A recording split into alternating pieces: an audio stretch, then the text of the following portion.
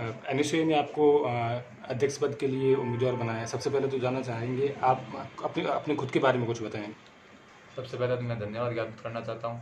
जिस संगठन ने मुझे टिकट दिया एन का, उसकी पूरी टीम का, और उसके बाद मैं में ईयर का स्टूडेंट हूँ। पिछले चार पाँच सालों से कॉलेज में हूँ, और कॉलेज स्टूडेंट की समस्याओं को देख रहा हूँ, और जो भी लास्ट ईयर कम से कम दो तीन चुनाव मैंने देखे, उसमें जो भी उन्होंने मुद्दे बताए थे, काफ़ी सॉल्व कर दिए।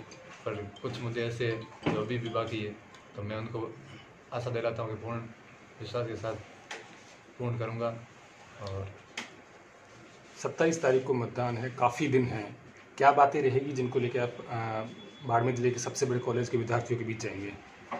सर हमारा अहम मुद्दा है एक देखो प्राचार्य की नियुक्ति सबसे पहले कॉलेज में उसके बाद रिक्त पदों को भरने की फैकल्टी की जो सबसे बड़ी समस्या है बाड़मेर पीजी कॉलेज की फैकल्टी की है। और उसको मैं प्राचार्य मैं जैसे अभी यहाँ कार्यवाहक प्राचार्य है उनकी जगह नए प्राचार्य और प्लस वो फैकल्टी पूरी करवानी है। ये समस्या रहेगी और पानी की है खेल मैदान की ऐसी पुस्तकालय की है कई सारी समस्याएँ हैं और मुद्दों को लेकर। दस से बारह दिन है अभी आपके। ठीक है अब तक छात्र थे अब छात्र नेता बन गए हो। तो ये दस से बारह दिन छात्र नेता दीपेंद्र घूमेगा बाड़मेर शहर में ग्रामीण इलाकों में। क्या ताकत क्या रहेगी उसकी जिसकी वजह से वो दौड़ता घूमता फिरेगा? सर देखो मैं खुद किसान परिवार से हूँ।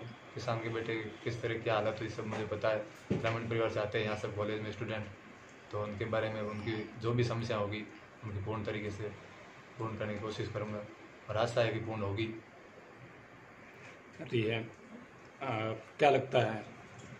कितनी बड़ी कितनी बड़ी हंड्रेड चुनौती? परसेंट साथ हम पूरी करेंगे वो। चुनौती है? चुनौती है पर चुनौतियाँ तो होती ही रहती ज़िंदगी में। चुनौतियों के बिना तो पार नहीं पड़ता बाहर नहीं पड़ता है तो।